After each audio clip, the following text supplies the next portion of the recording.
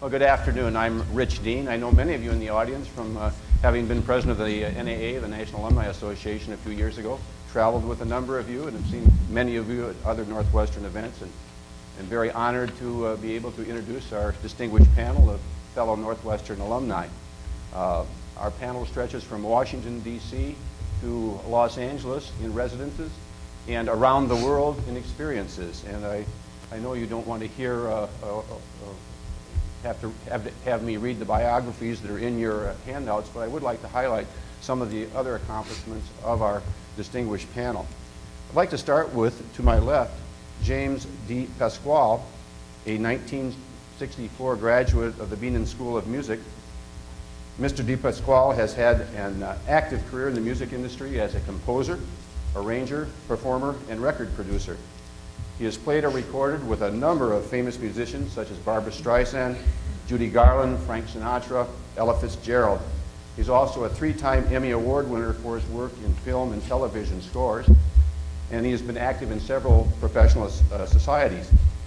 He is currently a member of and was the organizing chairman of the Society of Composers and Lyricists, a 1,200 member organization including John Williams on down to our most recent graduates from Northwestern.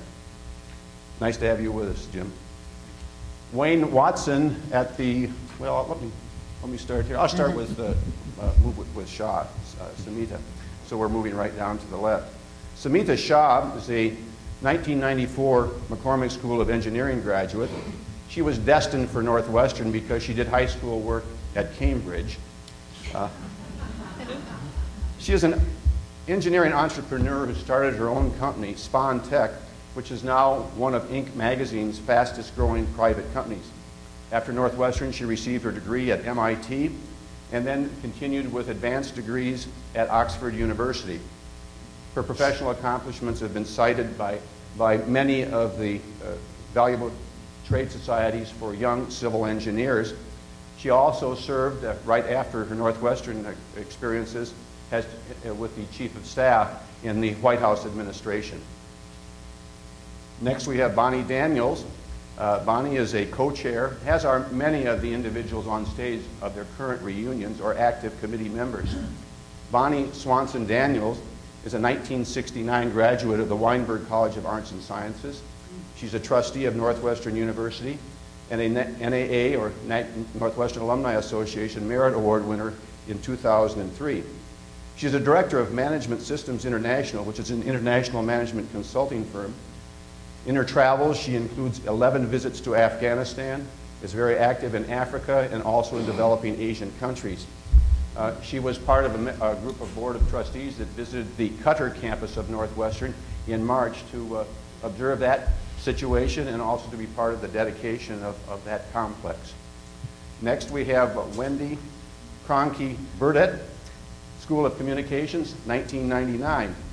Ms. Burditt is the co-founder of Playing for Change Movement, which is a nonprofit organization that uses multimedia to inspire, connect, and bring peace to the world through music. Among her latest accomplishments is establishing a music and dance school in Ghana. The Playing for Change uh, band has also produced a record, CD, which has appeared in, in a time slot at Starbucks and is now available across the country in, in leading uh, record outlets. She's a longtime advocate and participant in the arts, having worked as a choreographer, dancer, and actress. She too is very active in her committee work. I'll come back to uh, Pat Ryan in a moment, but first I'd like to talk about. Uh, don't don't be concerned, Pat. Shirley wrote your bio. Wayne Watson has three degrees from Northwestern. School of Education and Social Policy in 1969, the Graduate School of Education and Social Policy in 1970, and a PhD in that same school in 1972. Dr. Watson recently assumed the presidency of Chicago State University. He is Chancellor Emeritus of the City College, Colleges of Chicago, an urban community college system which is one of the largest in the nation. He has served as a valuable member in the past as an alumni trustee and extremely vital to the success of a number of committees, including the Information Technology Committee. Uh, I would see Wayne uh, every afternoon in the, uh, when we were on campus together in the fall and spring, although we didn't talk a lot. Uh, we were on the 2 o'clock or the 2.30 buses from Pat and Jim out to the Welsh Ryan complex, he for wrestling practice and I for football practice. Wayne was more successful than I might have been. He was a top Big Ten wrestler and also an Olympic trial qualifier. He has served as the president of a number of other colleges in the Chicago area. Next to Wayne, we have George de Lama, a Medill School of Journalism graduate in 1979. Mr. de Lama is the external advisor for Inter-American Development Bank.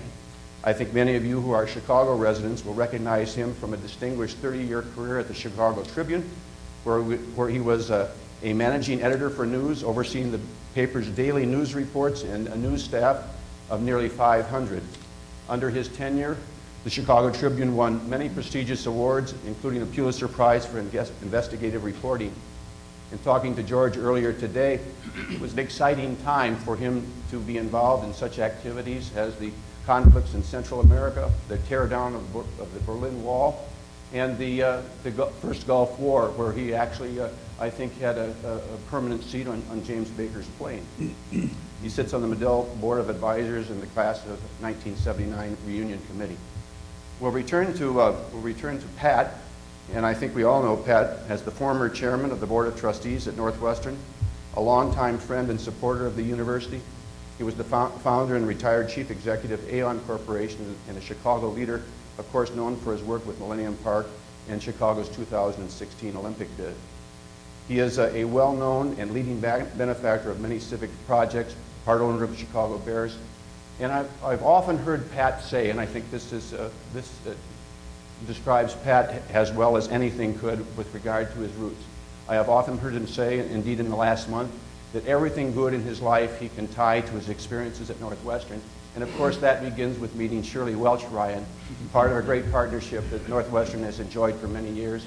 Having been, had an opportunity to serve under Pat on, on a number of activities here, I think it's an appropriate time for us all to thank Pat for his years of dedication to Northwestern.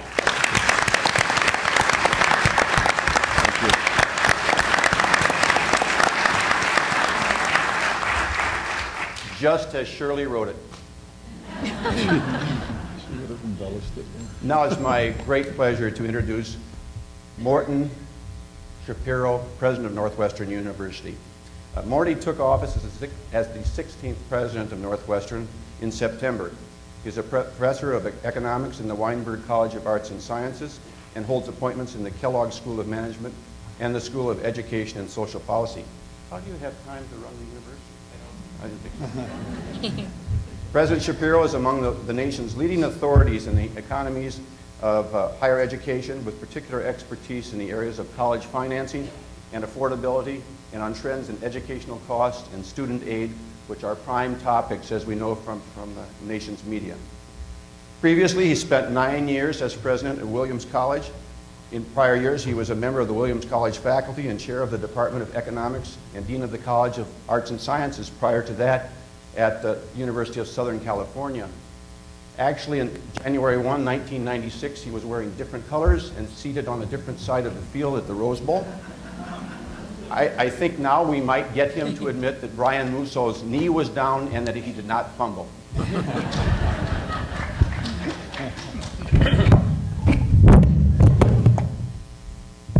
me, not Morty.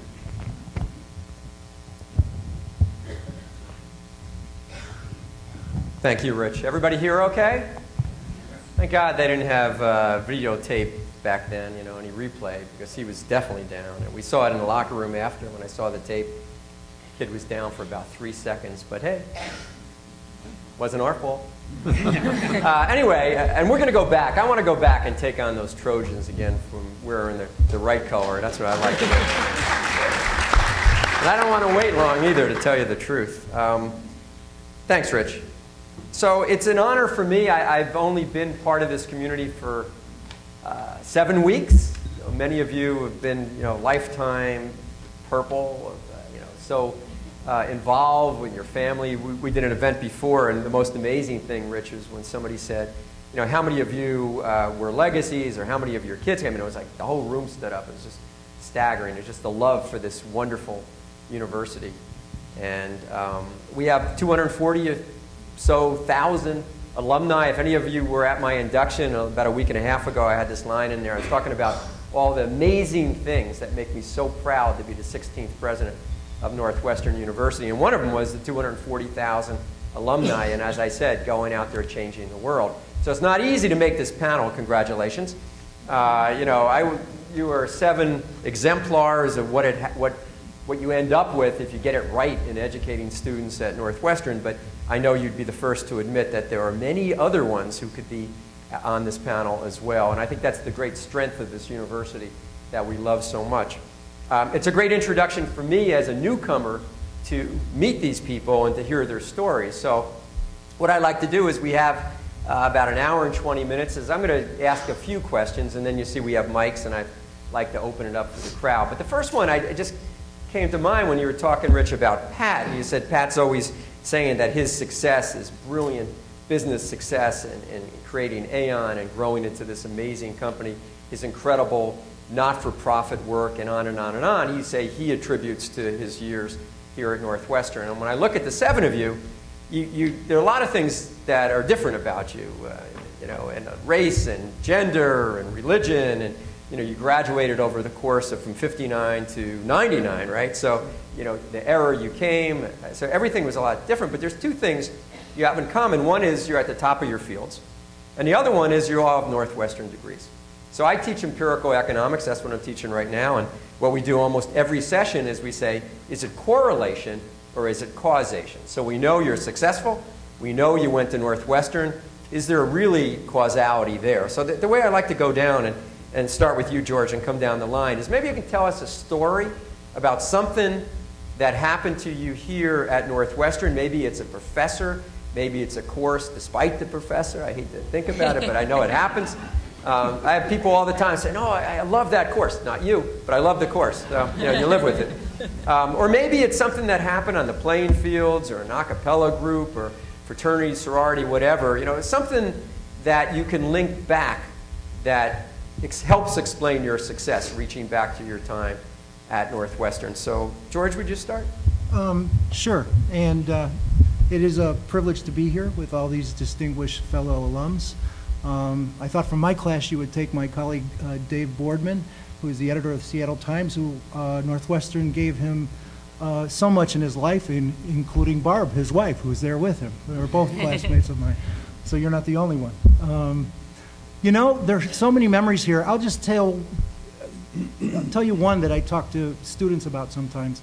You never know when you're going to learn something that will come back and help you sometime in the future.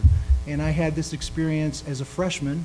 Um, I come from a background, my parents are immigrants from Cuba. My father never finished high school. I grew up just down Sheridan Road in Uptown in Chicago, but that's like another world away. It was another planet when I came here. It's a real cultural shock. And uh, I was always interested in history, and I remember freshman year, first quarter, right, just got to school, trying to sign up for a history class. And all the ones that I thought looked interesting that I knew anything about um, were all filled up. So there was only one left. So I took it, and it was secessionist movements in West Africa. And I didn't even know there had been secessionist movements in West Africa. um, as it turned out, it was a, and I can't remember the professor's name. He was a visiting professor from Ann Arbor who came for just one, uh, one quarter to teach this class. Uh, but it was a small group of people, about 15 people, and they gave us each a case study. And we got to pick one, and I picked uh, the, the Katanga secession from Congo in 1960. Mm-hmm. So we, I buried myself in the stacks and where all the Afro-American history stuff was here, which I didn't know Northwestern had, which is a very cool thing. Um, we had we had discussions every week. We had a number of projects we had to complete in a timeline culminating in a big paper. Well, it turned out I just sunk my teeth into sank my teeth into this uh, this story. It was an amazing story, and I didn't realize it, but it was still being played out then. Um, fabulous class. I learned a lot about what had happened in Nigeria, uh, learned a lot about what had happened in Congo, learned a lot about the dynamics of colonialism mm -hmm. and that wave of independence that struck the developing world about 1960. uh, which had done so much to shape the world that I would enter after leaving Northwestern. Anyway, make a long story short, fabulous class, learned a lot, gave it everything, and so therefore I got that much back out of it.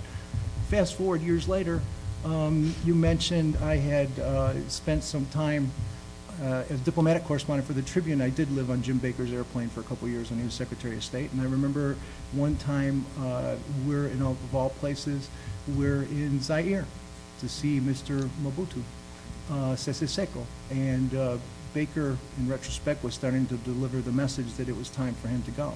This is a country that had $166 per capita income, and he had $5 billion in the bank somewhere in Switzerland and had a house in the French Riviera.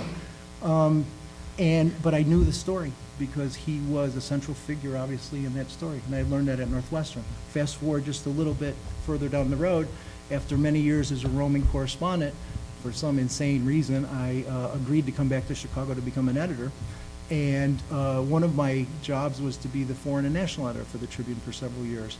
Well, we have an outstanding correspondent then named Paul Salopek, who was based in Africa, and he wanted to go tell the story of Congo and how this jewel in the middle of Africa, just how it was had been broken back from the time of Joseph Conrad. I actually knew something about that story from my time at Northwestern. Uh, Paul had to negotiate uh, with five different guerrilla groups to take uh, to get safe passage. He took a boat down the Congo River with a photographer to retrace Joseph Conrad's fictional story in Heart of Darkness. But he had to negotiate with me for six months before I let him do it. That before I was assured that I felt comfortable that it was safe enough.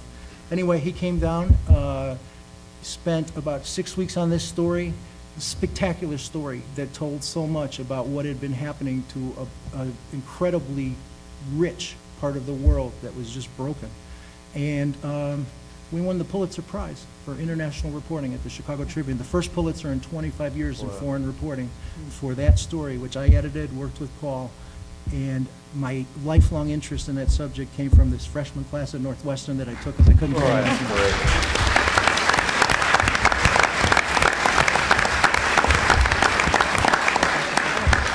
Boy, the faculty should hear that. Really. I mean, you can't make that one up. Yeah, no, that, that's spectacular. Wayne.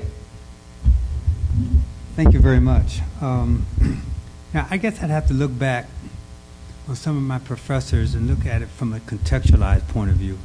And that is individuals such as B.J. Chandler, he was Dean of the School of Education, uh, Ray Mack, Sociology, Lerone Bennett, History, and then a guy named Paul Bohannan in anthropology.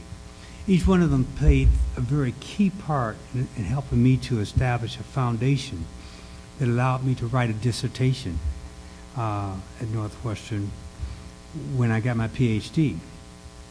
That dissertation, uh, well, one, that process helped me to establish the, uh, the educational foundation in the value matrix that I currently survive off of every day, that drives my mission, that allows me to function, and allows me to deal with the different social justice issues that our country has faced and others that it still has to face. But coming out of it, the dissertation that I had to write as a result of being at Northwestern and being exposed to Paul Bohannan and B.J. Chandler. I got a call one night about a year after I had graduated, after I had gotten my PhD, and the person answered the phone, and the person said, are you Wayne Watson? I said, yes. He said, okay, my name is Alex Haley. Um, someone has sent me your dissertation. Pardon me? Oh. Maybe just move the mic a little. Okay. okay um, I got a call one night after I finished my doctoral degree, and to about two, you know, late at night, and the person said, uh, "Are you Wayne Watson?" I said, "Yes."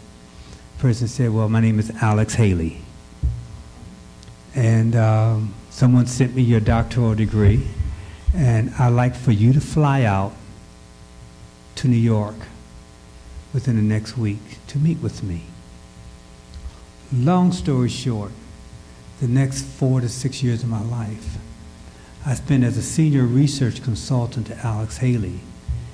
Um, doing research that basically proved that the research that he did in his book Roots was not just a one-time phenomenon. They wanted to show that using oral history, utilizing grills and belletees, and utilizing archival and genealogical, genealogical analysis, that you can actually trace one's roots from Africa to America. That was before they had the DNA, where right now you take a drop of blood and you know they trace you right back. Uh, they, thank God I wouldn't have gotten my doctorate, Paul. yeah. But um, it just tells you where you're from, that, that drop of blood. The drop of blood told me about a year ago that my people are from uh, Ethiopia and Greece. Okay?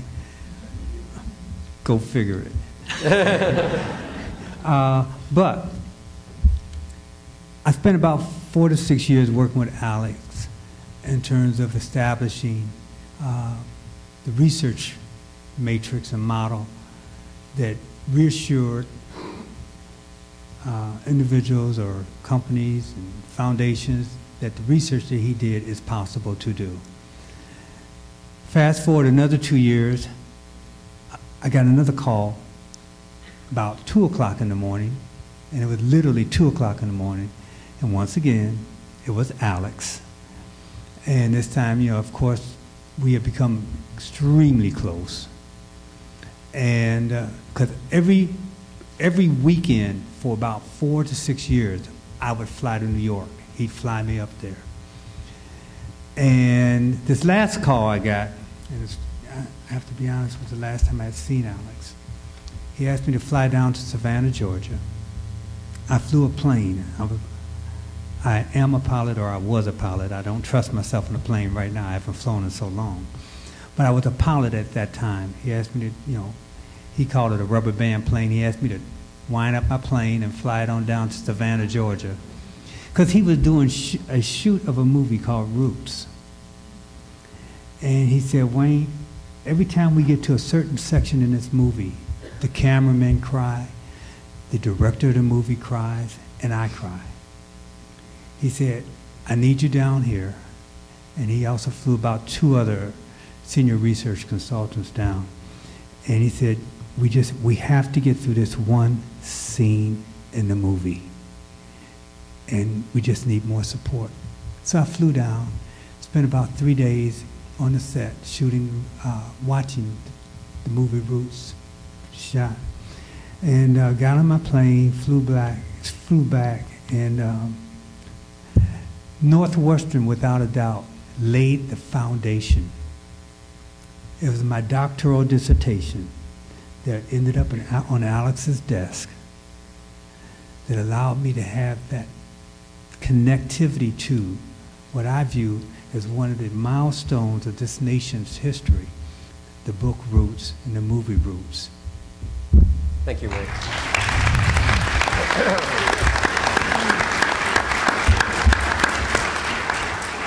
So I'm going to, yeah. to defer to my distinguished colleagues to the right. I'm not going to follow these two guys.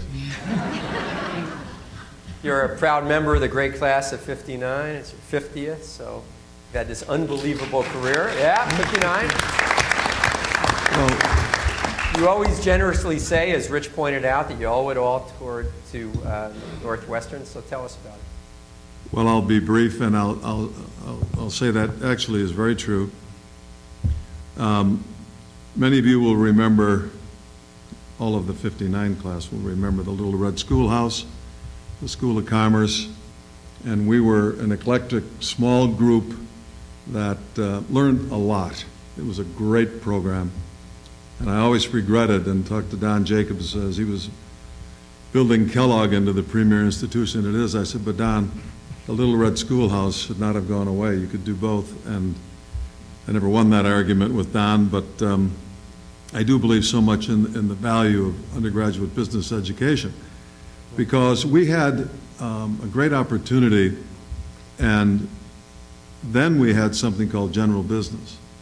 And so I was in the general business program, which allowed you to major in a business um, subject, and mine was finance, but then minor um, in the arts and sciences, and and so I chose literature.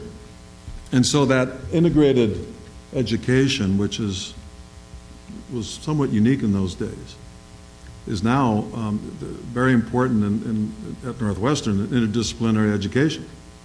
And I say how important that was in, in my foundation, got me interested, obviously, in business. We would do case studies, and we, we had the same textbooks that Harvard had, and we were very proud of that. I mean, we're the, doing the same thing Harvard students are doing, but we analyzed businesses. And I, I learned uh, that I liked it a lot. I liked business and I liked analyzing businesses. And that created an interest, obviously, and furthered an interest that I had in getting into business. But the involvement just on campus, in addition to the classroom, was very formative for me. And now some of you will say, well, that's because you went to Marie's Huddle on Howard Street all the time and get involved in, in those kinds of uh, sociological studies, and that's part of it. But a, a very important part of it um, was, in fact, meeting people. And I met a couple of people that were in the insurance business, and they'd come back to sell insurance to students.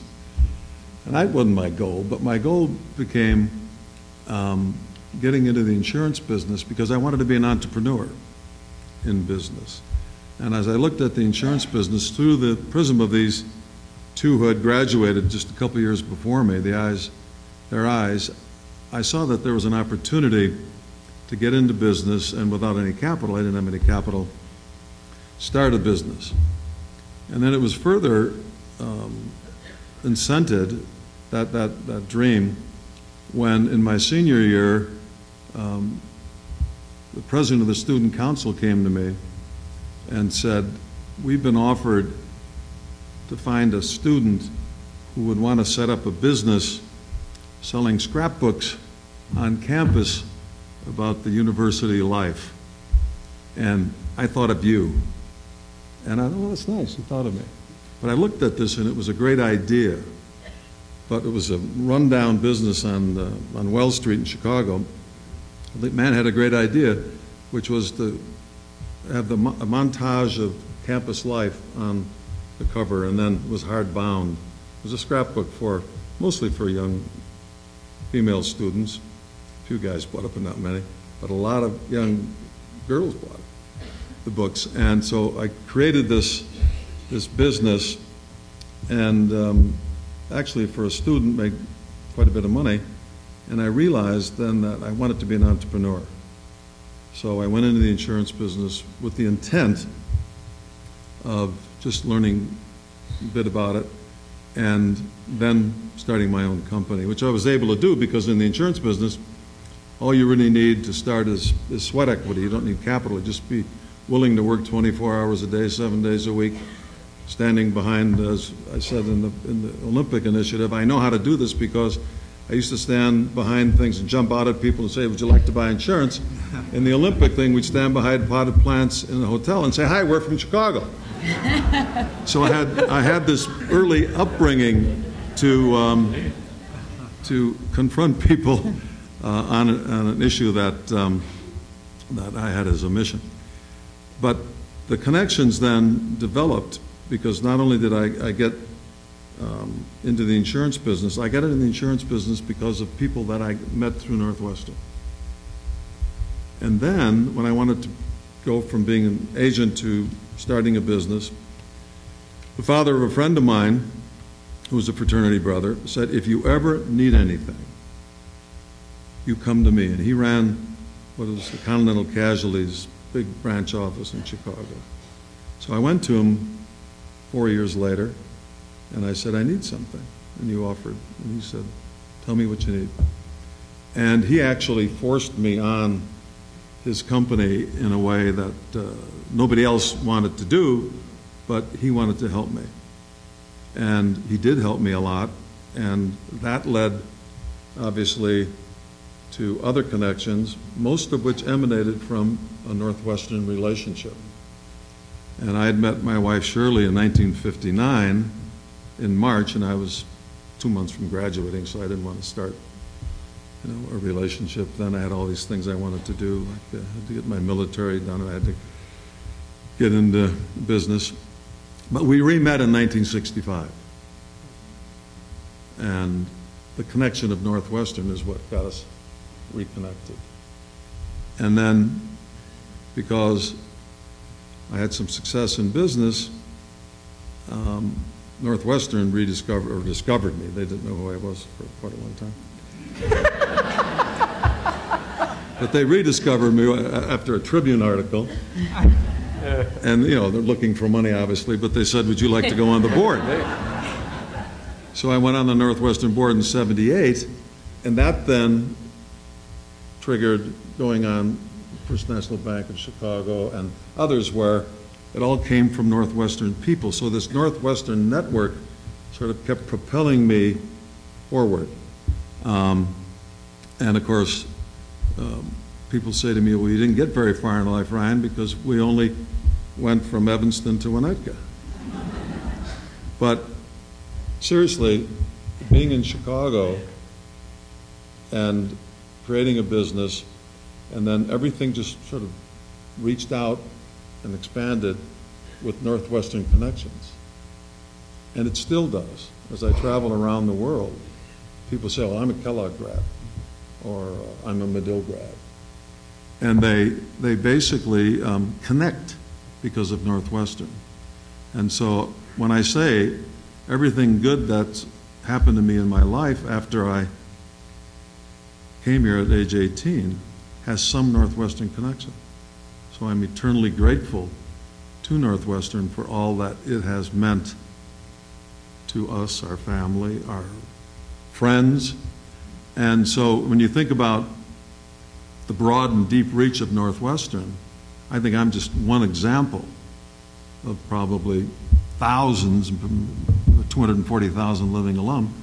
So I would guess that in many ways they've all had that somewhat similar experience. So our gratitude has always been to Northwestern for what um, it provided us as a beginning and then as a progression through up until now. Being here, a great privilege to be with all of you and to be here as our 50th reunion. The only problem, as Morty said earlier, it's shocking to become part of a half-century club.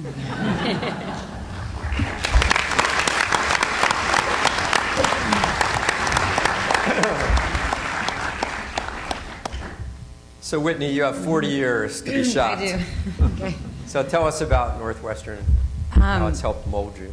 Uh, yeah, Northwestern. I, I've been thinking back a lot on the last 10 years and well, the last 15 years, um, my education while I was here, and then the process of um, internalizing that education over the last 10 years and how it's guided me in the work that I do now. And I, w- I was trying to think of a moment that really crystallized uh, what I see as as where I'm at in my life right now at Northwestern, and it and it came to me. I I spent my time here as a theater major, and so I spent actually quite a bit of time on this stage, which is really strange. um, but in the what used to be called the TI building, which is right off the back of here. I don't know if it's still called TI Theater and Inter- Interpretation Center. And um, for those of you who aren't familiar with the way that the acting program is structured, your sophomore year, you enter in an acting class with the same people. You remain with them for the, the next three years. And you have class every single day for the next three years with the same teacher. And it is incredibly intense. And the relationships and the bonds of trust that you form within this, this class are, have surpassed sort of anything I've, I've ever experienced in my life. And I can remember it was during finals, and our acting finals ran about 10 to 12 hours long. And we um, were rehearsing, and I had an, an scene partner, and we went to sign up for rehearsal space in TI. And the, the only times that we could rehearse the night before our final were, I believe, 3 a.m.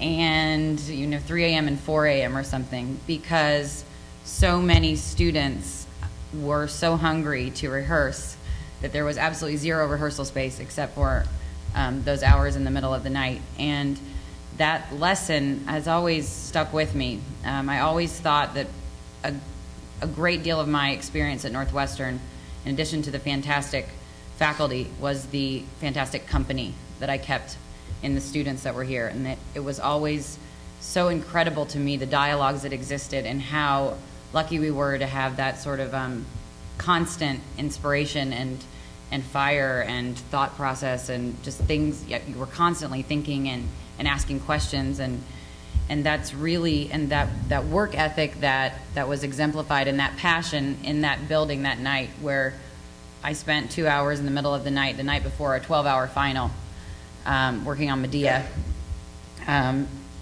because there were just so many other people in the in there doing the same thing um, has really stuck with me through the work that I do with Playing for Change. It's it's been um, it's a it's a it's a project of passion, um, and we've stuck with it, and the perseverance that I learned, and the bravery I think of of the of the people that I spent three years with in acting class has really allowed me to stick this project out, and um, and uh, that I believe I believe I really think that what I got from the students of Northwestern, my fellow classmates, a lot of whom I'm seeing today, which is so exciting, um, has, has brought me to where I am. So that's, that's you, my Whitney. contribution.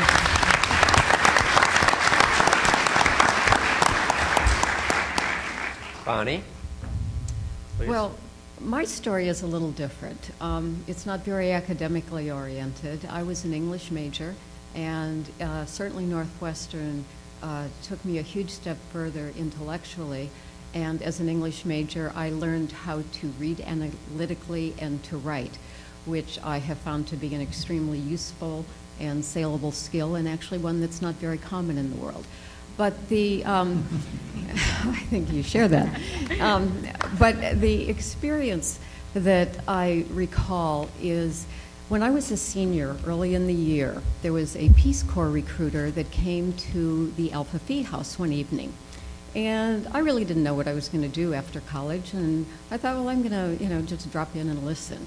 And she talked about her experiences and uh, what, a, what it meant to go into the Peace Corps for two years, and I thought, aha, that is what interests me.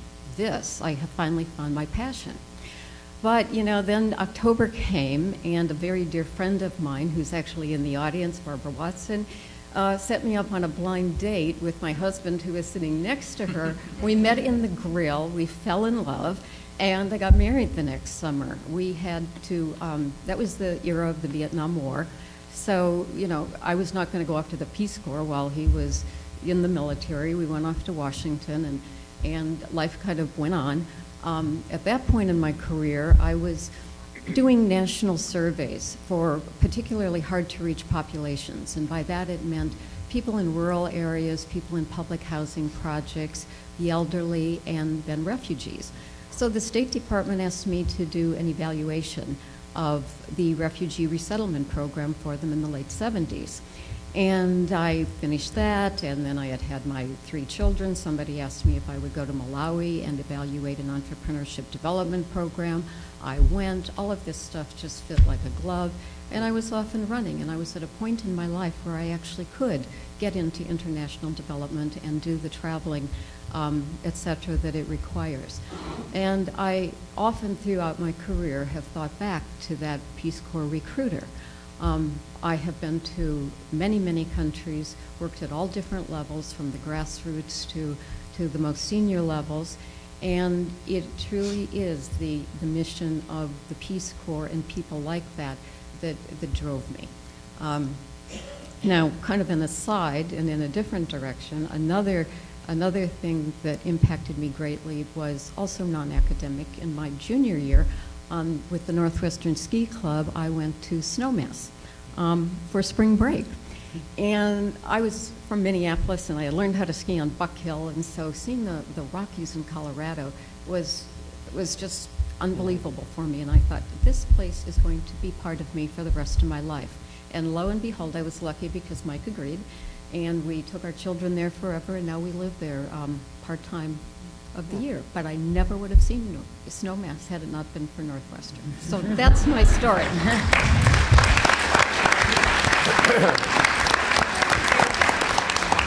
Thank you, Bonnie. Uh, Smita, That's good. Thanks. make it a little closer to you. Perfect. Thank you so much. Um, well, so I, my background's in civil engineering. I graduated from Tech in '94, and I started my, you know, I, I chose to become an engineer because my strengths were um, math and science. And my, you know, I sort of asked my dad in high school, what, when, what does one do when you're good at math and science, other than become a professor? I, I don't really know. But then my dad, a civil engineer, said, well, you become a civil engineer. and, you know, so I thought, oh, okay, that's how that happens. And I just went forward, you know, I was innocent and I was young, and I was like, yeah, that's, that's what I'm going to do. I'm going to become a civil engineer. And I think that's where my certainty in my career ended. You know, I, I realized that was the most certain I ever was about my career. Then I came to Northwestern, and I think that what's interesting about Northwestern is that, um, you know, other than the classes are clear. You know, you know once you you know you get this curriculum, you get you know sort of your agenda. You need to take a certain number of courses. You have a certain you know at least in tech you have not only your engineering courses and your core courses, but you have this basic liberal arts background that you also need to obtain. And you know you're trying to figure out exactly how does all of this come together? What am I going to do with all of this? You know, and there's so much to offer. And I, you know, there's a professor at Northwest, and in the engineering department, Professor Krizek, and Dr. Raymond Krizek, who is still here, I believe, and he uh, was the head of the Department of Civil Engineering. And there was a course that was offered called Engineering Law. And um, the prerequisite for that class was um, being a junior or consent of the instructor. So as a freshman, I had to go and convince the professor that I was both intelligent and mature enough to get the, the most out of that class, which as a freshman, I think we all remember being 18. I think there's more confidence involved than anything else. And so, you know, I went and I sat down and he let me take this class. But the interesting thing about that was it was an engineering law class. It was, it was as an engineer, you could be studying law. These were people who had gone to Northwestern who had studied engineering but had decided to go into another direction, and that's to study law. And you know, throughout my experience at Northwestern, that sort of level of certainty in your career, you know, he always had this broader approach to engineering. It wasn't that engineering, you know, there, he created this idea that you can be an engineer plus. You don't have to just, you know, in, there's much more attainable to engineers than just engineering. And, you know, he had project management courses. You could be a manager. He had brought people in who were um, part of interacting in policy, city engineers, people who were the head of um, agencies. And, and these were all people who were engineering, but they were doing much more. They were, you know, influencing the lives of people on a day-to-day basis. They were running companies. They were just doing so much. And it, it's sort of that in combination with, you know, sort of this, this uh, liberal arts education, which at the time I felt was being forced upon me, became, you know, and political science and everything. I took political science and economics. I did not take the Beatles class, um, which a lot of my friends did, and that was always, I, so I got the experience, I think. Um, but it sort of became the pattern for my career that kept going forward. That you know, I, I started out as an engineer, and I, I sat behind a desk for a little while, and then there's this idea that you know, but you can do more as an engineer. So I, I thought, let's start a business. Why not? And so I, I've been running my business for 11 years. I started it in '98, um, and then you know, this idea that beyond that, though, you can still be involved in policy and, and understand, you know, what are the decisions, you know, engineers make this tangible contribution of infrastructure and things that, you know, you're sitting in a building designed by engineers. But, you know, they're often not, um, often the, you know, it's often not that people making the decisions for engineering are engineers themselves. So why not? And so thus I went and worked in the White House right after. And I think people who knew me afterwards were shocked that I was going to go and do it. Why would you do that? You're an engineer. Um, but all of that, it became the pattern for my career going forward to do you know, engineering, go into business, and you know make sure I'm civically active and, and doing more than just engineering. Thank you, Smita. Last but not least, Jim.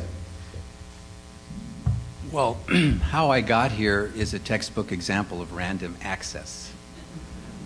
Because I was destined to go to the University of Illinois. I was uh, a working professional in working downtown Chicago at the Sheraton Chicago and the very the Conrad Hilton and the Congress Hotel and various places when I was 16. So I was already a, a making money at, at 16, 16 and a half actually.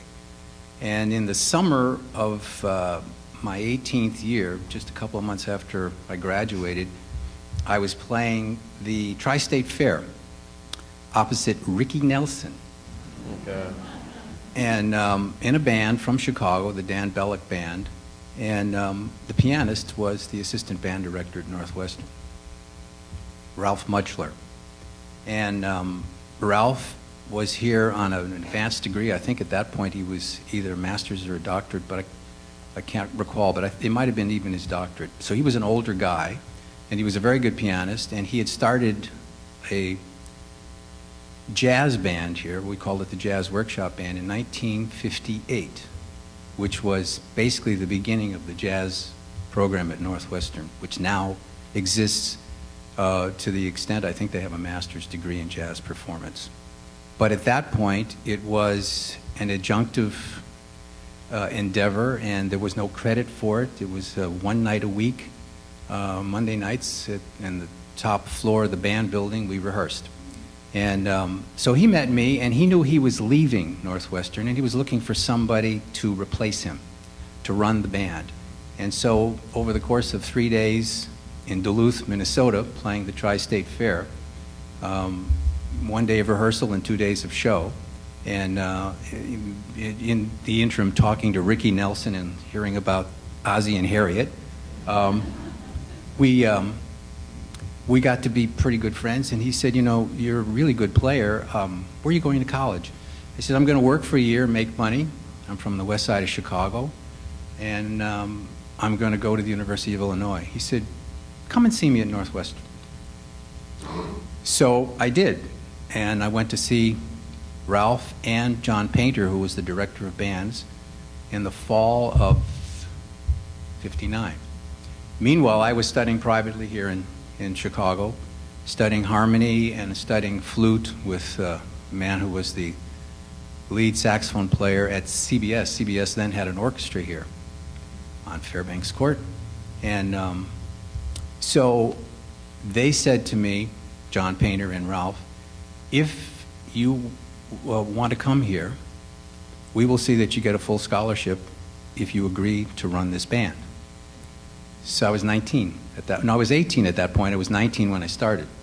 So, no brainer. It, it sure sounded better than Urbana. And um, so that was my plan. So I arrived here in the fall of 1960, and I was basically a jazz musician at that point. I mean, I'd had a lot of band experience. I played in. Uh, I played at the DePaul University Band when I was a senior because my band director in high school was the band director at DePaul University. And he thought he was going to feed me into DePaul. So come and play with the DePaul band. And I said, no, I'm going to the University of Illinois. And then he was not so happy. And then he was uh, even less happy when I went to Northwestern. But um, as, uh, as happened, I arrived here and um, it was an explosion of new experiences when I arrived at the first band rehearsal, now here's a bunch of 16, 17, uh, big band of 16 or 17 players, some of whom, most of whom, were graduate students. So who's this punk 19-year-old kid who's going to tell us how to play? So um, it was a few weeks of pretty difficult going. Let's play it this way. Uh, what do you know? You're, you're a freshman. But um, the experience of getting past that, and we built the band to the extent that in 60, 62, they gave us a half credit ensemble. And that was the beginning, the real beginning of the jazz program. Now, recently, one of the members of the band, who is now retired living in Manhattan Beach, California, he, uh, he ended up becoming a, one of the first computer engineers at Xerox and retired at 59. And um, he called me and said, um, Do you have any recordings of the band back then? And I said, I've got pristine recordings that I've stored religiously. And so we've been transferring this material. And um, we've transferred now uh, the 62 concert in Lutkin Hall, the 63 concert in Cahn, which were the first two big uh, jazz concerts on campus. Before that point, uh, the band had played uh, various and sundry little festivals around, but they never really had a campus concert sponsored by the university. And my experiences with the band were seminal because running that band and conquering that experience, when I got to New York and was uh, standing in front of New York, the top professionals in New York, um, it was, again, who's this little punk kid who's 27 years old going to tell us how to play? It's exactly what was going on in 1960, and the same thing when I got to LA. And my first big job was at Universal Studios, and uh, there's guys sitting there. I bought their records when I was 13, mm-hmm. and now I'm conducting them. And it was all having to do with that. Some of the teachers here that uh, were really important tangentially to that jazz experience Fred Hemke, who's still here, uh, Walfred Kujala, who was my flute teacher, who's now retired. Ray Still taught oboe. He was a solo oboist to the Chicago Symphony for about 50 years. And he's, uh, I'm not sure he's still with us. I hope he is. But um, all of these people made big contributions. And Ewald Nolte was my counterpoint teacher. Um, Arrand Parsons was my advisor, the program annotator for the Chicago Symphony for something like 39 years. He's no longer with us. But all of these experiences have paid off in my professional life as I have moved from New York and then to LA. And um, even to the extent of leading this, this uh, group, which uh, was mentioned, the Society of Composers and Lyricists, which we started in 1983 um, as a, an exercise in trying to get a union for composers and lyricists, Hollywood composers and lyricists. There is no union for us, so we operate without any kind of benefits, without any kind of wage scales, and by dint of, of clout and long time uh, work, you, you may, one, one, one, one, one tenth, one thousand tenth percent of, of us who get to be a John Williams or a Henry Mancini, or you have some control of your income. We tried to start a union. The group now still exists as the Society of Composers and Lyricists. There's now a thousand of us. Uh, there were 400 when we were doing this, and I was the organizing chairman and um, the first first president. I mean, we, they called me the organizing chairman for a couple of years, but uh, in, in effect, I was the first president. But that, again, was, uh, I'm not a labor organizer, I have no idea, but show up on the first day, and it's the first day of the band rehearsal here in 1960. It's all the same thing. So that's what I owe Northwestern. Uh, the ability to stand in front of a group of musicians or a group of labor attorneys or the head of the, head of the NLRB and state my case and not feel uh, that I was uh, underwater. That's my story. Thank you.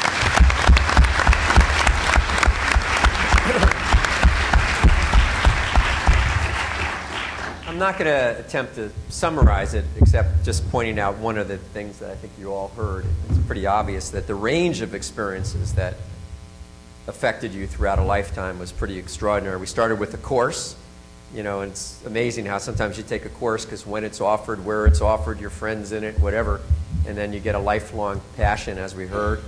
Uh, the value of some professors opening up doors to the Alex Haleys of the world. You can never dream about those opportunities, but yet I think a lot of NU alumni tell similar stories. The value, pad of the NU network that you benefited from and contribute so mightily to uh, since you graduated, the value of peers uh, educating each other and inspiring each other, as we heard, um, the value of discovering a passion. And Bonnie, as you said, you might not immediately go into that passion, but it stayed with you for a lifetime which was great. Uh, the value of an intellectual environment, and of course, the value of great, as we just heard from Jim, great extracurricular or co curricular opportunities. So, this is an impressive range of reasons why you're here and why you're so successful.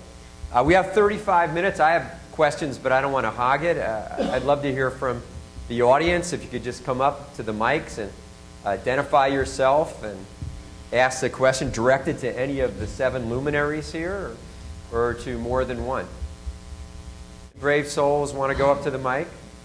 Please.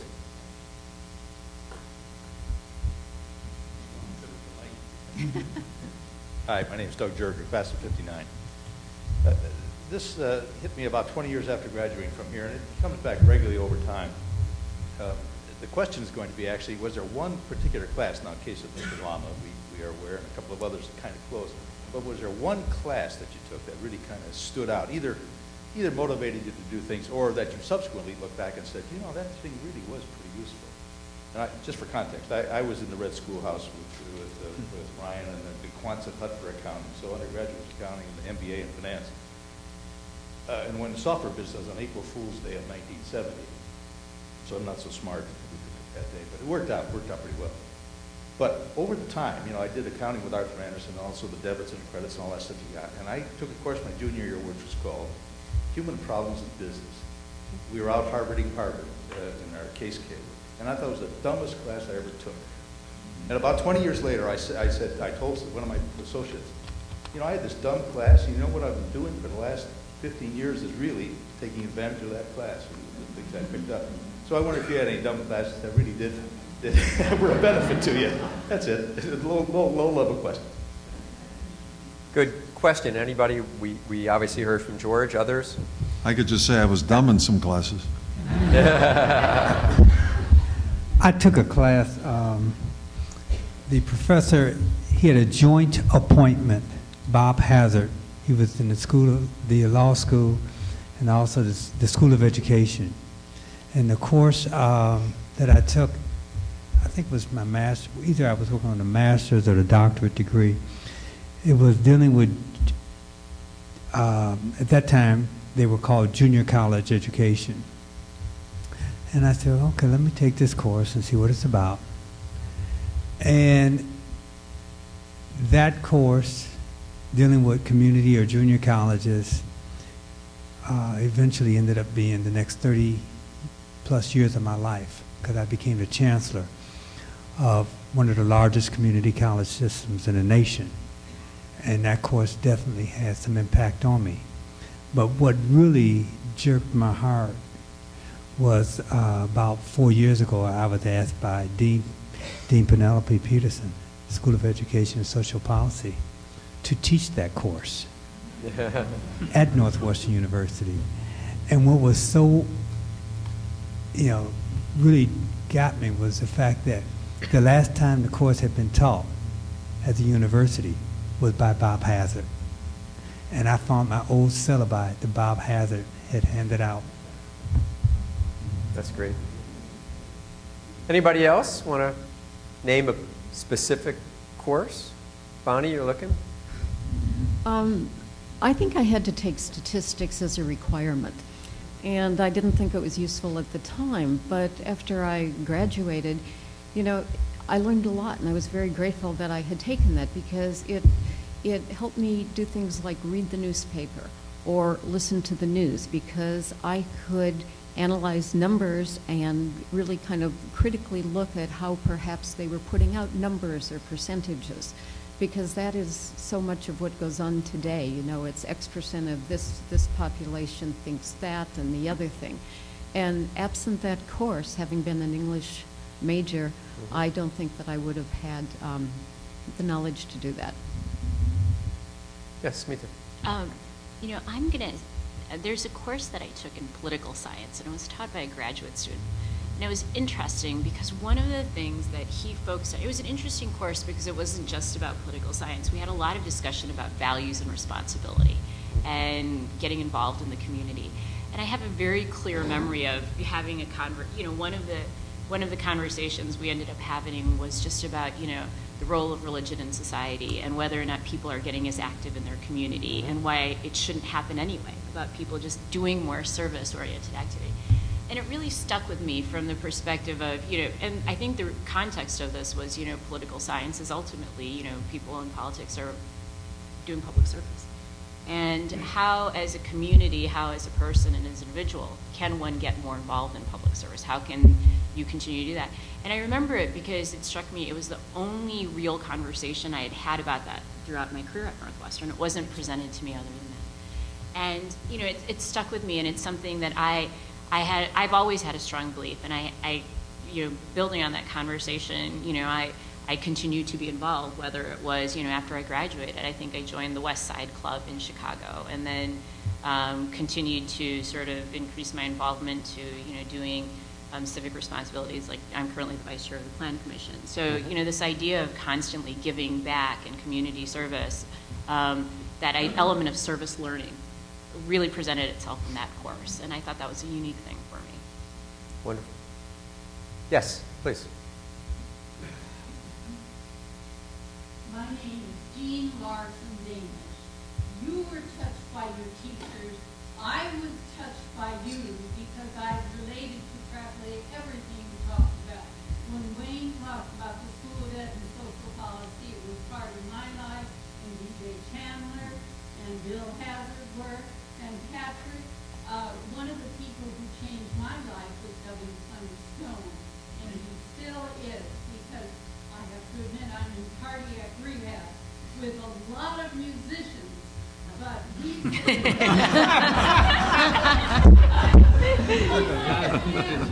feel today, I feel happy, I feel healthy, I feel terrific.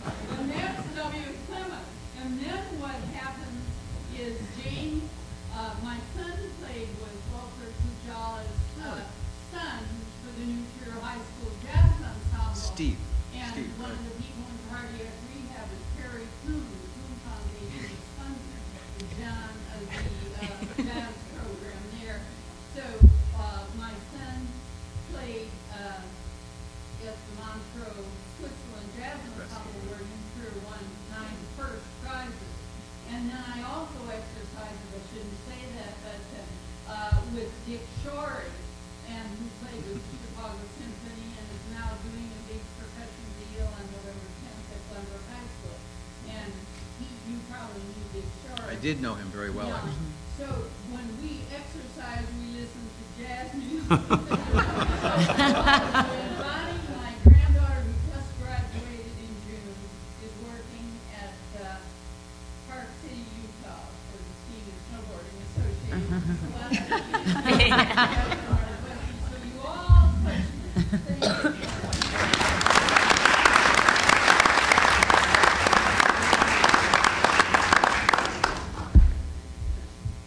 Other questions or?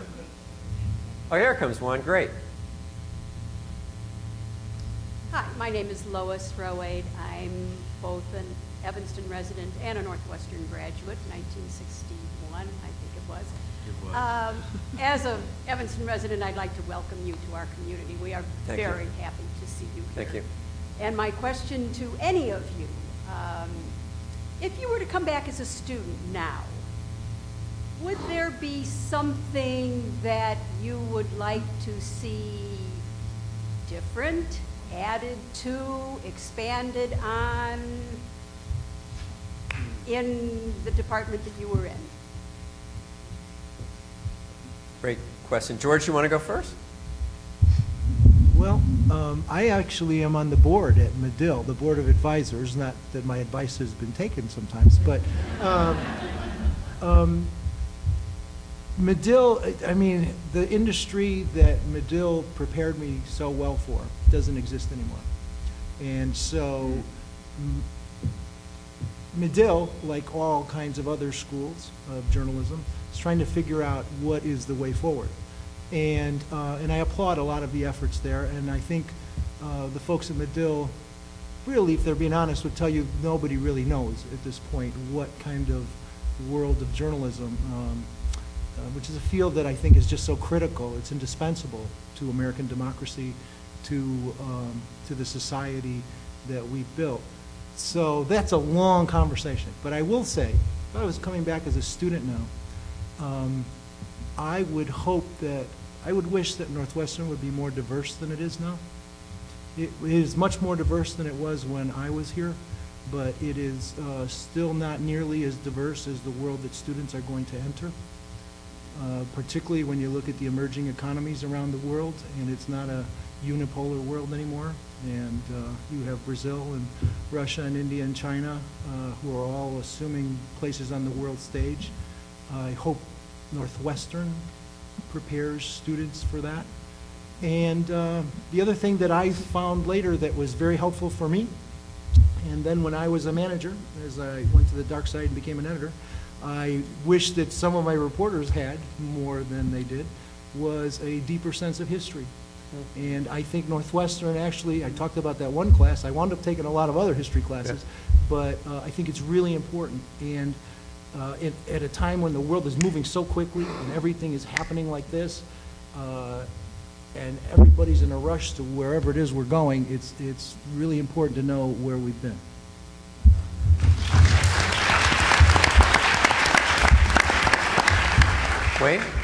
I'm also in a blessed situation. I chair the School of Education and Social Policies uh, um, Advisory Committee. And so, and blessed to have a dean that, that has worked very close with us. So I can't say I wish we could. But let me just, we, we can always do something else. And that is, I, I'm a great believer, as my friend said, you know, in the value of history, but also contextualized learning. Contextualized learning. And I believe that, I think it would strengthen Northwestern and it would strengthen the School of Education if we had more of it. And let me be a little bit more specific.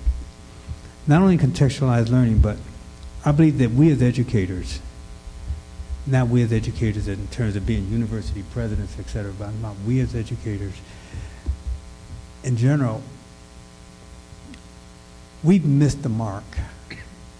Uh, there's a great problem in urban America, and education, uh, and, and unless we really figure out some of the causal factors that's leading to the miseducation that's taking place in urban America, we're going to have some very serious problems going forth in the next couple of decades. And we have not figured it out. We have not figured it out. So if I could change anything, I would like for us to connect not just our schools of education, but also our universities, more to basic research in terms of social justice, very similar to what the law school is doing here. Mm-hmm. The law school at, school at, at Northwestern University is, is probably the best example of what I wish the entire university could do. And that is looking at the social justice issues, using its students in terms of a teaching research laboratory to solve some of the key problems of this nation. Great.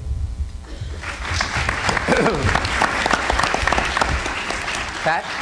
I would just say that um, I really do believe that things are, are uh, really in a great direction here. There are a lot of undergrads who are doing serious, important research. We just met one the other night who's a scholarship student from West Virginia, and he's a sophomore, and he's doing serious research in one of the most important science labs in the world. And so what's happened at Northwestern, um, and I talked about interdisciplinary education earlier, but there's so much interdisciplinary opportunity that I would encourage students not to look for change, but to look for opportunity. There are so many opportunities um, that it, it almost seems like four years is not enough to really take advantage of all those opportunities. But there is the opportunity for the, for the really dedicated student to get active as undergrads in serious research. So, I mean, this is a great research institution with, with great teaching. And that's unique in the world, not exclusively, obviously, but among the very elite, unique uh, research universities. And I think it's, it's a tremendous opportunity for the young students to really get engaged in important research. Um, And, and it's happening, and, and uh, it's very thrilling to see. Thanks, Pat. Great, Whitney? Yeah. Um, if I could uh, come back to school, which I think about a lot, would be lovely. Um, the one thing I would I would do differently. You said there are there are so many opportunities for undergraduates, and I and I look back and I think was is it a missed opportunity or was or was it something that I feel should be a requirement for students that it was the School of Speech, now the School of Communications.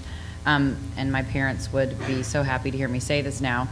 Um, I should have taken more business courses, and um, or should have been required to take more business courses, or you know, really, really been aware of that opportunity. I think that that was the one. That's the one thing that that I think you know we have this incredible, incredible university with so many different educational opportunities, and um, at a certain point, I got so focused on the conservatory aspect and the and the training, the artistic training, that that it was easy to go, oh no, I don't need to take business classes. I would much much rather take circus arts, you know, things like that.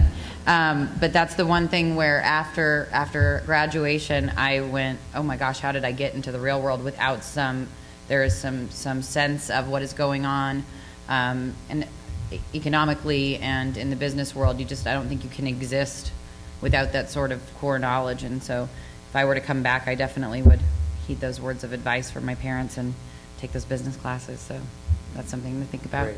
Thank you. Bonnie? Mm-hmm. Advice to the students? Um, Well, if I were to advice, did you say advice to the students? Well, it was part of the question. Okay. Doesn't all have to be. Could be Um, advice to Yes. the area you studied here. Well, if I came back, or, and I think if I did come back, because I know enough about the university, um, there's a much more, uh, there's a much larger emphasis on the international than there was at that time. And now there isn't the entire world. However, and, and Northwestern has come a long, long way, but I think that they still have a little bit further to go. And there are many ways to do that. I think it can be done in every single class. I don't think that there's a single subject that doesn't have some kind of global context in which you can look at it, whether it's um, an interdisciplinary course or just, or any other course. Um, I would be looking for opportunities to do study abroad programs, to do research overseas. Um, Northwestern, I think, with their with the opening of the campus in Doha, has done quite an extraordinary thing. Um, as Rich mentioned, and Rich also went along on this, I was so proud of Northwestern when I went to visit the Doha campus. It is the first time that Northwestern has actually offered a degree to people that went to school on another campus. And um, I was involved with the board and with some other things and with the thinking that went into that. And Henry Bienen was the president at that time. And what that school provides is a place in the Middle East where, where young people, about 75% of the students are women, but where young people can receive a very, very good degree. Uh, not only is Northwestern there, but also Texas A&M, uh, Cornell, Georgetown. Um, it's like a consortium of schools that all are bringing what really are their best programs to that part of the world. And I think that we need to do more of those things, you know, and, and those are not always decisions that are decided with uh, paper and ink and uh, cerebrally. They're often decided in the heart because it was, Henry felt, for instance, that it was the right thing to do. And I am proud of that. Thank you, Bonnie. Smita? Well, I guess there's two parts to the question. So as to what, if I were to come back, I would, you know, I, I graduated in three years from Northwestern. And so I, I went very quickly through the process. And I probably would spend a little bit more time. You know, I discovered that I love college football, but I discovered it after I left Northwestern. so I've been to more Northwestern football games after graduating than while I was here. Um, and you know, I missed things like I mean, when I was here, you could still throw the goalposts in the lake. Um, so I, I didn't get to participate in stuff like that. Now they can't. They finally embedded those into the ground properly. But you know, things like that. People, when you talk to people about Northwestern, they talk about football. They talk about dance marathon. They talk about the community of Northwestern as a Mm. whole, not just the educational. And I feel like I, you know, to students or to myself, I would say, you know, I would, I would love to participate more in that. Um, but to the engineering school, what would it, you know, the interesting thing about engineering, especially at Northwestern, is, you know, to some degree, it's, I, and, you know, I don't mean this sort of flippantly, but it's kind of easy to be just good at engineering education. Um, there are a lot of schools that are good, and you don't have to be, you know, MIT to be good. But you, you know, even IIT provides a tremendous. I love hiring people from IIT. It's a great engineering education. But when you're when you come to Northwestern as an engineer, you're you know the students here. They're really the leaders of tomorrow. They're doing. They're going to do much more than engineering. They're not just going to do engineering. They're going to, um, you know, they can they can be whatever they want. And I think that the important thing is the interesting thing is students are also idealists. So you can also really give them this broad education. And I think the strength Northwestern has is that liberal arts background. But um, giving them that awareness of you know the practical practical knowledge it will take them to succeed because once the, and as well as um, sort of all of the things going on in the world and how they can impact it. The interesting thing is with engineering students or just students from Northwestern is they understand process, they understand how to think, and if you give them the awareness, they will figure it out and they will really be successful as leaders. That's great, Smita. Jim? Well, my, my answer is similar to Whitney's in the sense that the arts, people in the arts are drawn to that field because it's the intersection of emotion and talent. And um, we're, we're swayed in, if you, if you wish, by the, the desire to express and um, at, the, at the expense of virtually everything else in your life. And I think Whitney would probably agree with me, but uh, that explains the intensity. The music school here is very isolated, or was, at least when I was here, was very isolated from the rest of the university. And um, I too was didn't discover football until after I left. But every Saturday the band played my arrangements. But I think in the four years I was here, I never got to one football game. I attended all the band rehearsals, and they were playing my arrangements, and they did my rousers, and they did the something got to give with the trumpets all the way around the stadium, and all of that. But um, I was busy working. I was working three or four nights a week. But um, I think the one thing that um, is missing, and I had lunch yesterday with the dean of the music school, Toni-Marie Montgomery, and she mentioned this when we talked about what faces the musical artists of the future, or actually of, you know, right now, as a matter of fact, the internet has made our lives a lot more difficult. But for uh, both us and the other artists I've met, uh, particularly in LA, but in New York as well, a lot of uh, actors, uh, some very well known, are good friends of mine, and I've heard about their careers. And in, a, in the sense of business, how the music business works or how the acting business works, we're all corks bobbing in the ocean. Once we get there, it's like try to stitch together a career. And I've talked to some great names um, in the past. Some of you may know Alex North or David Raksin or Elmer Bernstein and you talk to these people and you realize they've had long periods of not working. Elmer Bernstein didn't work before Ghostbusters didn't work for about three and a half years. And um, you, I think all of us are babes in the woods when it comes to business. And believe me, the studios and um, the production companies, they have crackerjack people, particularly the MBAs now, that don't they're in the business of being in business. They're not even really connected to the films that are that are being made. It's basically bottom line. It's basically you know your your, um, your investors.